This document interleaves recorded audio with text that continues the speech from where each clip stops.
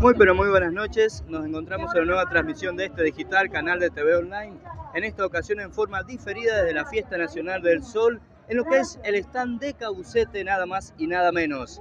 Buenas noches, Néstor o Ernesto. Néstor, Néstor. Néstor, no vamos a decir el apodo por ahora. Sí, no, hay, no hay problema. eh. Viste que siempre hay el nombre del documento y el nombre que te ponen los amigos. Claro, no, hay Potoco. problema, el potoco. El. Potoco y la señora Nadia Domínguez. Buenas noches. Buenas noches, sí, señorita. Señorita, bueno, me- mejor no voy a preguntar, no, no, vamos a evitar chascos. El stand de Caucete, ¿qué encontramos en el stand de Caucete? La verdad que vas a encontrar de todo, todo lo que hacen los cauceteros con sus manos, todo lo que es productivo, todo lo que es industrial, más que industrial es artesanal. Eh, hemos tratado de basarnos, no nosotros, sino lo que pide, mostrar lo nuestro, lo principal nuestro, que es la actividad vitivinícola, pero también las, subactividades que hay, como la olivícola, que también es importante en el departamento, y bueno, y todos los elaboradores de vino artesanales, por así decir. Es la matriz, una de las matrices productivas del departamento, así que estamos muy contentos. Está basado en eso y después en el turismo religioso y todo eso. Tenemos también ya algo de promoción de la Fiesta Nacional de la Uva y el Vino. Estamos en la Fiesta del Sol, pero nos tira el corazón a una semana nada más y nada menos. ¿Qué sabemos de la Fiesta Nacional de la Uva y el Vino? Bueno, la verdad que la idea del estar acá en la fiesta del sol era también auspiciar esa fiesta que será el próximo fin de semana.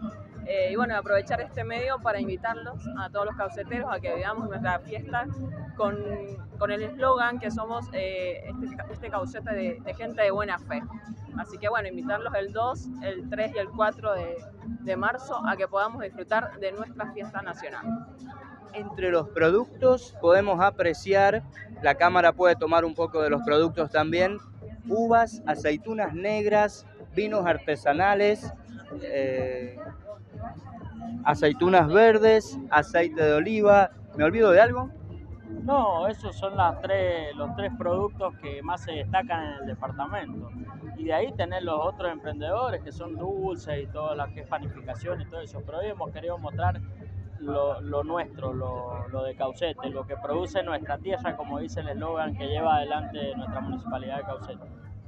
Muchísimas gracias como siempre por su tiempo, muchas gracias por el dúo, primera vez que los entrevisto.